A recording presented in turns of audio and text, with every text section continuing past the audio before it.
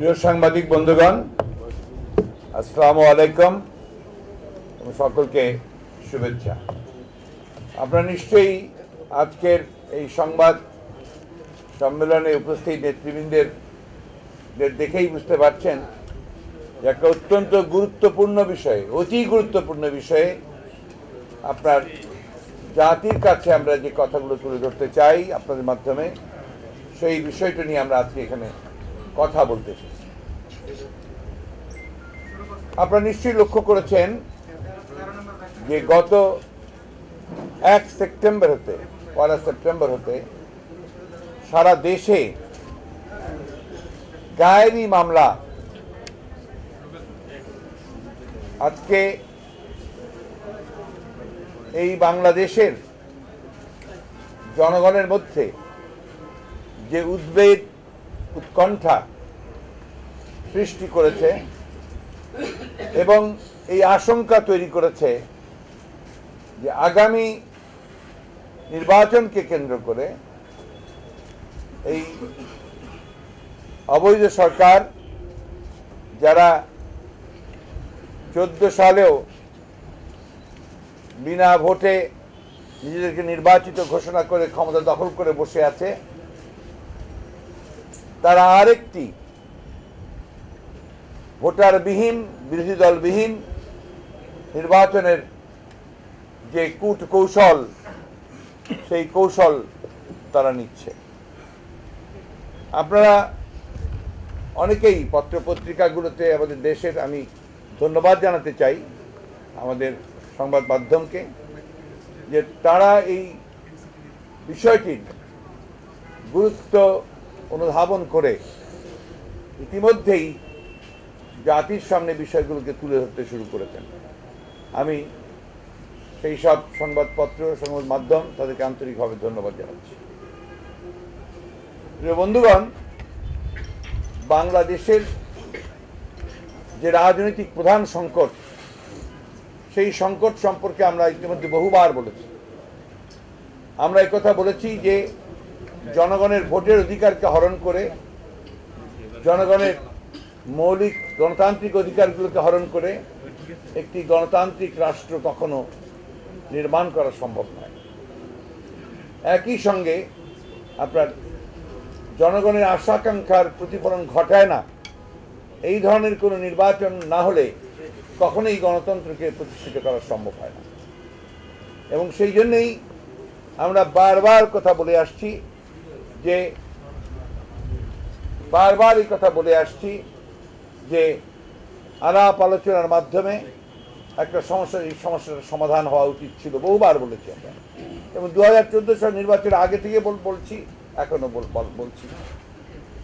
এই সরকার যারা জনগণের ভোটে নির্বাচিত হয়নি, তারা জনগণকে কোনো তাদের চিন্তার মধ্যেই আনে না। জনগণকে তারা কোনো রকমই মনে করে না, তাদের প্রয়োজন আছে।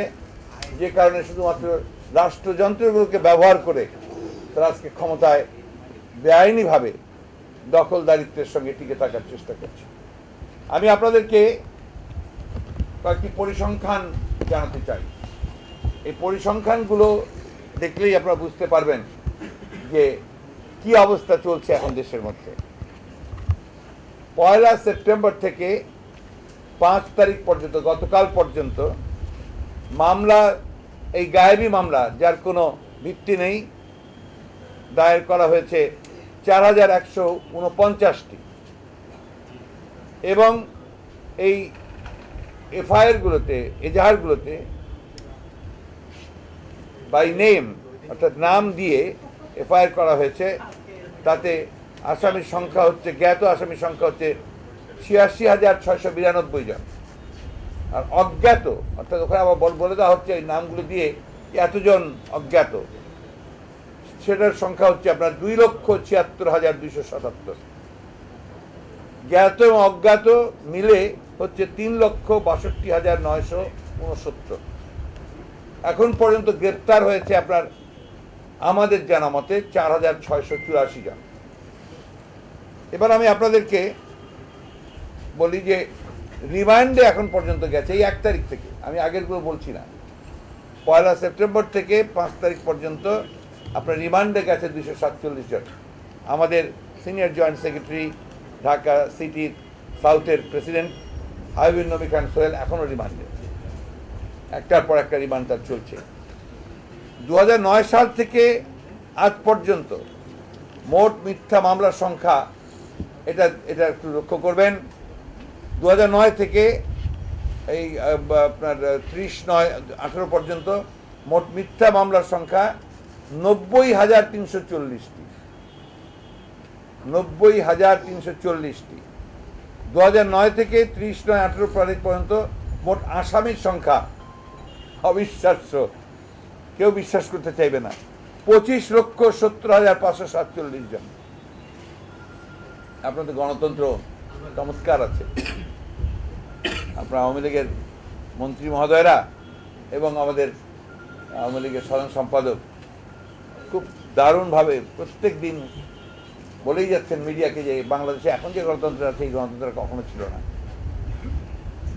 দু নয় সাল থেকে ত্রিশ নয় আঠেরো তারিখ পর্যন্ত মোট জেল হাজতে আসামির সংখ্যা পঁচাত্তর হাজার নয়শো পঁচিশ জন।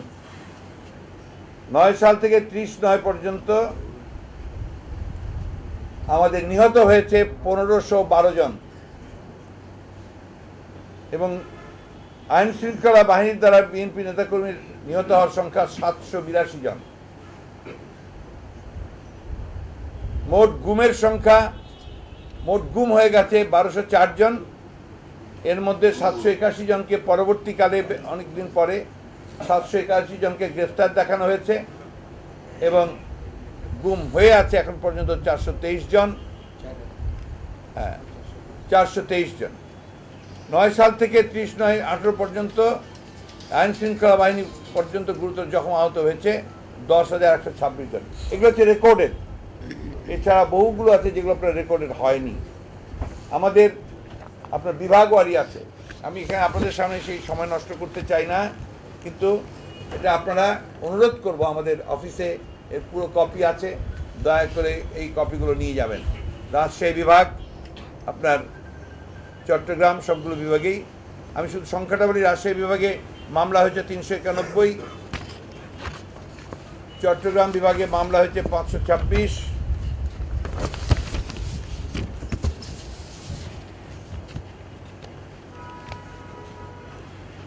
রংপুর বিভাগে তিনশো চুরাশি।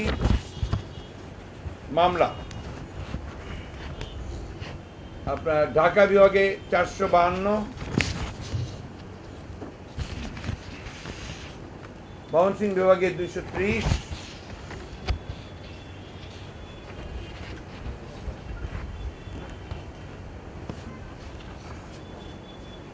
বরিশাল বিভাগে তিনশো আটান্ন এবং খুলনা বিভাগে চারশো চোদ্দ, সিলেট বিভাগে দুইশো বারো। বন্ধুগণ, এখানে আবার মহানগর,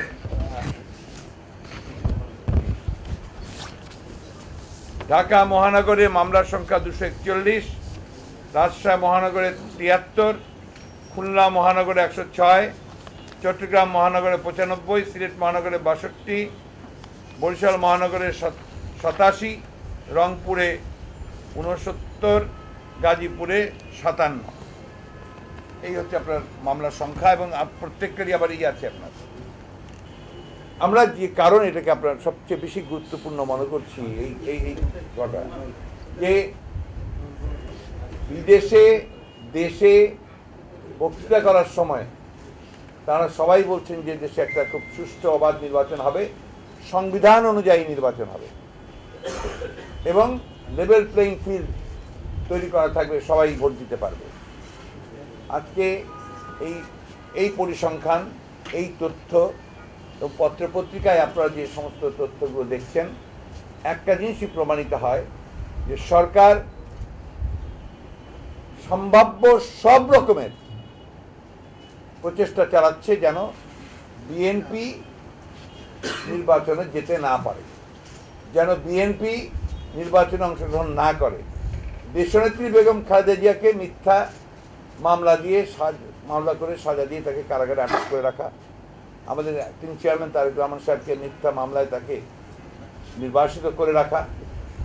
সবগুলো মিলিয়ে এবং আমাদের সিনিয়র নেতৃবৃন্দের বিরুদ্ধে আমি কালকেও বলেছি যে তাদের মামলাগুলোকে দ্রুত শেষ করার চেষ্টা করা হচ্ছে, যাতে করে আগেই আপনার মামলাগুলো নিষ্পত্তি হয়ে যায়। এবং তাদেরকে আপনার নির্বাচন থেকে দূরে রাখার একটা প্রক্রিয়া তারা বের করতে পারে। আপনারা লক্ষ্য করে দেখেছেন যে বাংলাদেশের জনগণ একটা নির্বাচন চায়। কেন চায়? যে তারা এই অবস্থার পরিবর্তন চায়। এই সরকারকে পরিবর্তন করে জনগণের সরকার প্রতিষ্ঠা করে সেই জন্য চায়।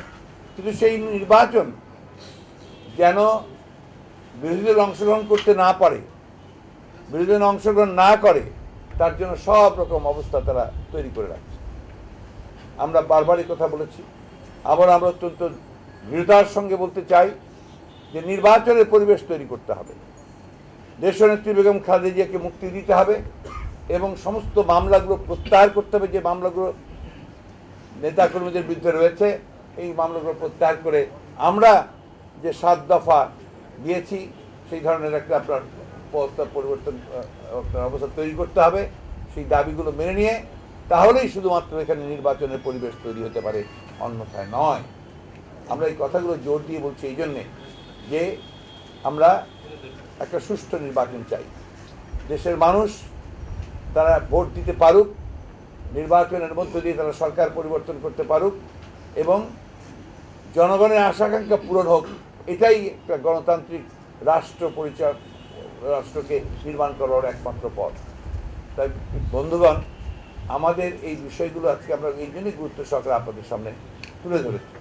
আমি এখন অনুরোধ করব যে আমাদের আপনারা আমাদের যারা সিনিয়র আছেন তারা দিয়ে কথা বলবেন।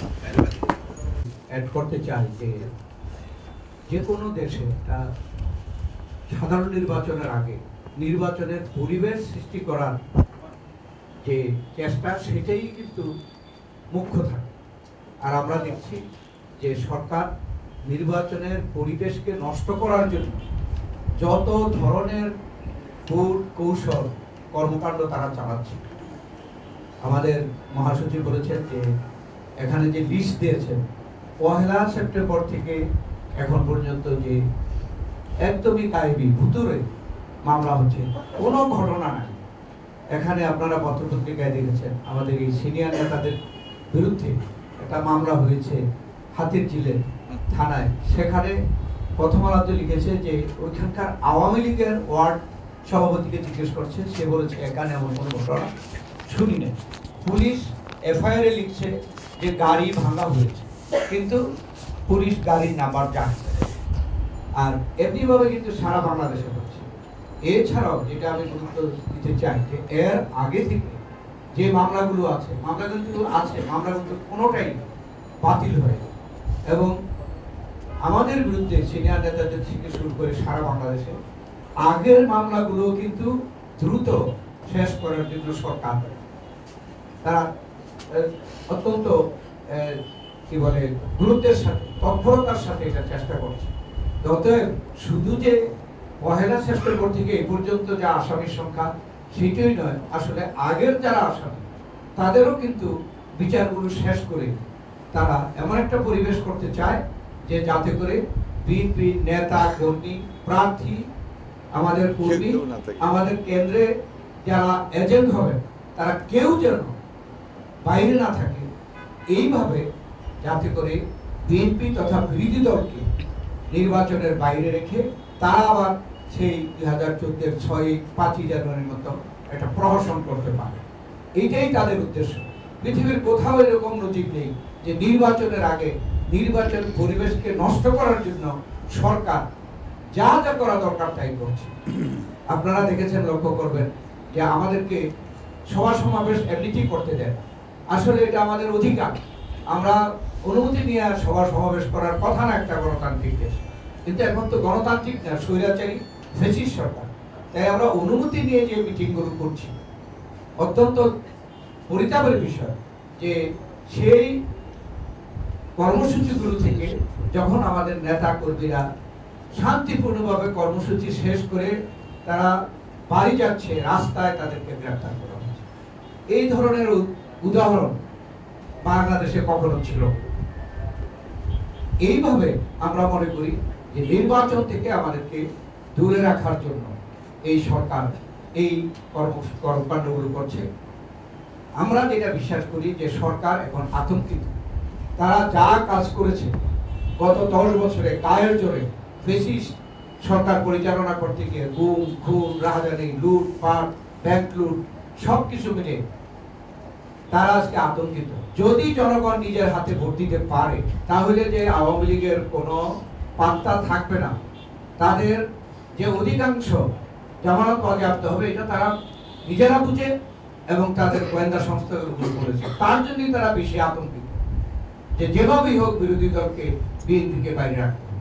আরেকটা আতঙ্কের বিষয়, যে আমাদের নেত্রী বেগম খালেদা জিয়া আগামী নির্বাচন যে সুষ্ঠু, নিরপেক্ষ অংশগ্রহণমূলক করার জন্য কয়েকটা দাবি উত্থাপন করেছিলেন, আজকে দেখা গেছে যে সেই দাবিগুলো বিভিন্ন দল জোট ফ্রন্ট এবং সার্বজনীনভাবে আপনারা দেখেছেন চরমনায়ের বিশ্বাস গতগুলো একটা সমাবেশ করেছে।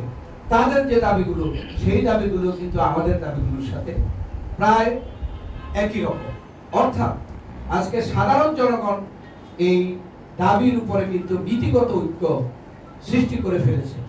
এখন হয়তো একটা আনুষ্ঠানিক ঐক্যের সময় বাকি আছে। তাই আজকে এই জনগণের ঐক্যকে দেখে কিন্তু এই সরকারের বিরুদ্ধে এই সরকার হটানোর জন্য যে জনগণের ঐক্য সৃষ্টি হয়েছে তাতেও তারা তাই আমরা বলতে চাই যে এই যে গাইবি যারা গাইবি মামলাগুলো এটা আমরা কেন গুরুত্ব দিচ্ছি? আজকে সবাই একত্রিত হয়েছে এখানে। যে এটার মাধ্যমে তারা একটা লক্ষ্য রাখবেন যে হয়তো নির্বাচনের ইশতেহার ঘোষণা করার পরে একটা ইয়ে হতে পারে যে আর মামলা দেওয়া যাবে না। অতএব মামলা দেওয়ার যে যাবে না তফসিলের পরে তার জন্য কিন্তু এখন এই ভুতরে মামলাগুলো দিয়ে রাখা হয়েছে যাতে করে তফসিলের পরে মামলা দেবে না কিন্তু আমাদের কর্মী নেতাদের রাখা। সেই জন্য আমরা উৎকণ্ঠিত সারা জাতি উৎকণ্ঠিত। ধন্যবাদ আমি শুধু বলতে চাই যে আমার তো রাজনৈতিক জীবন প্রায় পঁয়ষট্টি বছর পার হয়ে গেছে সে ভাষা আন্দোলনে যখন প্রথম কারাবরণ করি পাকিস্তান আমলে এবং বাংলাদেশ আজকে প্রায় সাতচল্লিশ বছর। কোনো দিন শুনি নাই যে ঘটনা ঘটে নাই, কিন্তু তার উপরে ভিত্তি করে মামলা হয়। অর্থাৎ আমাদের মানে ন্যায় বিচার বলতে যেটা বোঝায় বা সুবিচার বলতে যেটা বোঝায় সেটুকু একেবারে নিঃশেষ করে দেওয়া হয়েছে এই মন মানসিকতার মাধ্যমে। এটার লক্ষ্য এবং উদ্দেশ্য খুব ভালোভাবে বলা হয়েছে। নতুন করে বলার কিছু নাই। শুধু এটুকু বলব যে আপনারা এই হীন পরিকল্পনা গ্রহণ করে আপনারা দেশের মানুষকে, দেশের সাধারণ মানুষকে এবং আপামর জনসাধারণকে আপনারা হেয় প্রতিপন্ন করছেন। এবং তাদের উপরে যে আপনাদের কোনো আস্থা নাই, সেটাই বারবার প্রমাণ করছে। আইনগতভাবে, যদি বলেন আইনগতভাবে, মামলা করেছে ফৌজদারি মামলা। উপায় নাই, জামিন নিতে হবে। জামিন নেওয়ার পরে তারপরে যখন আমরা অগ্রিম জামিন নেই, অগ্রিম জামিন নেওয়ার পরে যখন এটা নিচের আদালতে যাবে, যখন আমাকে বলবে আমাকে আত্মসমর্পণ করার জন্য চার সপ্তাহ বা ছয় সপ্তাহ বা আট সপ্তাহ সময় দিবে। নিচের আদালত তো স্বাধীন না। তারা সম্পূর্ণভাবে নির্বাহী বিভাগের অধীনে কাজ করেন এখন। তাদের দায় দায়িত্ব সুপ্রিম কোর্টের কাছে নাই। তাদের দায় দায়িত্ব হলো এখন আইন মন্ত্রণালয়ের কাছে। সুতরাং তারা সেটাই করবেন যেটা সরকার চাইবেন। সরকার উদ্দেশ্য হলো যে নির্বাচনের আগে বিরোধী দলের সমস্ত নেতা কর্মী আমার তো ওয়ার্ড লেভেল পর্যন্ত আমাদের অনেকেরই আছেন। ওয়ার্ড লেভেলের যারা নেতৃবৃন্দ, যারা নির্বাচন করবে আমাদের জন্য তাদেরকে পর্যন্ত এই ধরনের মামলায় আসামি করা হচ্ছে। তারা যখন অগ্রিম জামিন নেবেন, নেওয়ার পরে যখন নিচে গিয়ে আত্মসমর্পণ করবেন, তখন তাদেরকে ঠিক এখন দেখেন ক্যালকুলেশনটা দেখেন, অক্টোবর মাস এখন আজগুলো ছয় তারিখ। আপনারা এখন ধরেন যদি কালকে যারা অগ্রিম জামিন নেবে ছয় সপ্তাহের জন্য, তার মানে এটা চলে যাবে নভেম্বর মাসের প্রায় থার্ড উইকের দিকে। তখন তো আর নির্বাচনের একেবারে সামনাসামনি। তখন তাদেরকে জেলখানা পাঠিয়ে দেওয়া হবে। নিচের আদালত এই সরকারের রাজনৈতিক প্রভাব এবং তাদের হস্তক্ষেপের কারণে নিম্ন আদালত যেহেতু তারা নিয়ন্ত্রণ করেন, তারা সবাই জেলখানে চলে যাবে।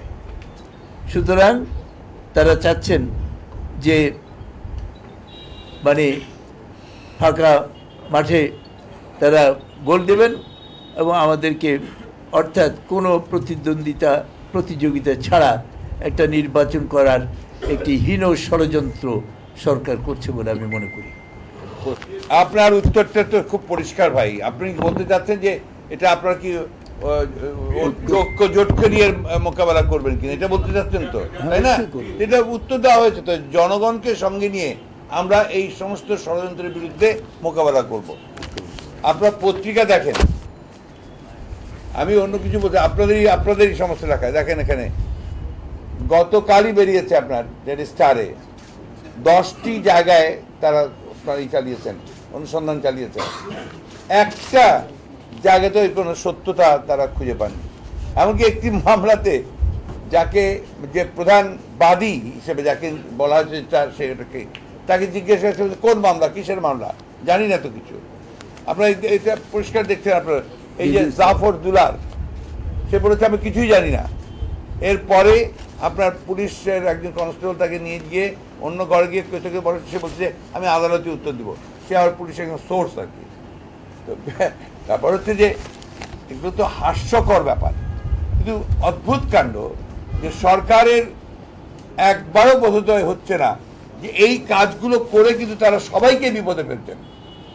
এই কাজগুলোর সঙ্গে যারা জড়িত যারা এই মামলা নিয়েছেন যারা লিখেছেন যারা এই মামলাগুলো করছেন this are all false and fabricated cases ভবিষ্যতে কোনোদিন যদি এটা চ্যালেঞ্জ করে আপনার কোনো কিছু প্রমাণ করা যায় তো সবাই কিন্তু বিপদে পড়বেন ইনক্লুডিং দ্য গভর্নমেন্ট আইনত এখানে বলি একটু এক সেকেন্ড আমরা অত্যন্ত গুরুত্বের সঙ্গে বিবেচনা করছি যে একটা মামলাকে দৃষ্টান্ত হিসেবে নিয়ে যেমন হাতির হাতিরঝির মামলা। যে কোনো একটা মামলাকে নিয়ে আমরা একটা হাইকোর্টে একটা রিট পিটিশন ফাইল করার কথা চিন্তা করছি যে কেন যেই অফিসার এই বাদী হয়ে এই মামলা দায়ের করেছেন, তার বিরুদ্ধে কেন কি ডিসিপ্লিনারি অ্যাকশন তার বিরুদ্ধে কেন সরকার ডিপার্টমেন্টাল অ্যাকশন নেবে না বা তার বিরুদ্ধে কেন ব্যবস্থা গ্রহণ করা হবে না? তাকে কেন শাস্তি দেওয়া হবে না? এই আলোকে আমরা একটি রিপিটিশন করার কথাও চিন্তা করছি। প্রত্যেক দিনই আসছে আপনার এই খবরগুলো খেয়াল করে দেখবেন। প্রত্যেক দিন প্রত্যেক দিন, একদিন না এভরি ডে এবং সমস্ত পত্রিকা। আপনার বাংলাদেশ প্রতিদিনে লাখো মামলার জালে বিএনপি প্রায় প্রত্যেক পত্রিকাতে এই জিনিসগুলো আসছে। মরা মানুষের মানে মামলা আমির খসরু সাহেব দেশে ছিলেন না বীরের দেশ ছিলেন, তার নামে মামলা। এগুলো চলছেই তো। অজয় ছিলেন, তার নামে মামলা। আমাদের আজিজুল্লাহ সাহেব, কমিশনার, উনি মারা গেছেন বহুদিন আগে, তার নামে মামলা। হাসপাতালে আছেন, তার নামে মামলা। জেলে আছে সোহেল, তার নামে মামলা। ব্যাপারটা হচ্ছে যে মিথ্যা মামলা দিতে গেলে তো এই সমস্ত প্রবলেম থাকবেই। সবচেয়ে বড় জিনিস হচ্ছে যে এটা তারাও জানেন যে এগুলো মিথ্যা মামলা। করছেন কেন? উদ্দেশ্যটা একটাই, যে কোনো মতেই বিরোধী দলকে মাঠে থাকতে দেবে, যে মাঠ দখল করবে। আর এইভাবে মাঠ দখল করলে কি দখল বলা হবে? আপনি আসেন লেভেল প্লেইং ফিল্ড তৈরি করে সমানে সমানে আসেন, দখল কে করে না করে, কার কার নেতৃত্বে কন্ট্রোলে থাকে, আপনার নির্বাচনের মাঠ বা রাজনীতির মাঠ সেটা প্রমাণিত হয়ে যাবে। এই- এইভাবে সব কিছুকে রাষ্ট্রযন্ত্রকে ব্যবহার করে পুরো একেবারে বিরোধী দলকে আপনার পাশে ফিরতে না দিয়ে এককভাবে তো অনেক কিছুই করা যায়। যাই হোক আপনাদেরকে অশেষ ধন্যবাদ।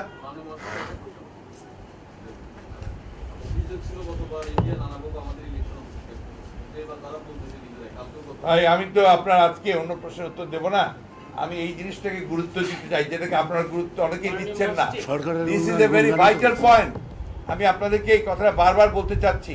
এটা শুধু বিএনপির জন্য নয় বিরোধী দলগুলোর জন্য নয় এটা সমগ্র জাতির জন্য এই বিষয়টা অত্যন্ত গুরুত্বপূর্ণ বিপজ্জনক এবং কোন দিকে নিয়ে যাচ্ছে।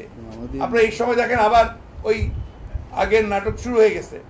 আপনার মিরেশ্বরাইতে জঙ্গি আপনার ঘটে- ঘটেছে। এর আলামত কিসের? কোন দিকে নিয়ে যাচ্ছে দেশকে? কীভাবে কোন দিকে কোন উদ্দেশ্যে নিতে চাই এই দেশকে যে জাতিকে এই মানুষকে? এটা আমাদের কাছে এখন সবচেয়ে বড় আশঙ্কার কারণে দাঁড়িয়েছে উদ্বেগের কারণ হয়ে দাঁড়িয়েছে থ্যাংক ইউ